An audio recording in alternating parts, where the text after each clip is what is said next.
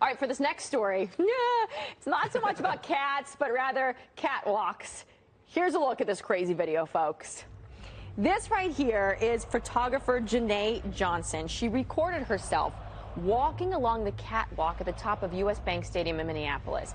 So if you're wondering how high up that No, is, There's no way. uh, the top of the stadium measures about 270, 270 feet.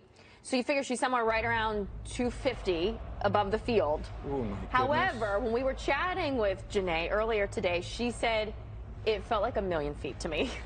she was there taking photos during the Minnesota Vikings game on Christmas Eve, and her video and images are now going viral on social media with millions of views and likes.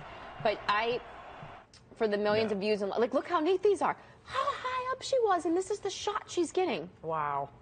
incredible shots i could never do something like that so i give her a lot of credit I think once she started looking through the lens of her camera, Hopefully, she yeah, she could felt focus. a little bit better and could just focus on the job. But there's that that walk Uh-uh. across the field. We did not ask her uh, what the quantity of Dramamine she took, Yeah. uh, but I mean, there's absolutely no way I do. But the great photographers, the great ones, always find a way, right, to try to get a shot that nobody else can. And this is a proof positive that she certainly did that that day. Wow, Those They're beautiful. great photos shots. are spectacular. They really are. I, I no way. give her a lot of credit That's right. couldn't pay me to do it that's All for right, sure neat stories today. Thanks, Natalie.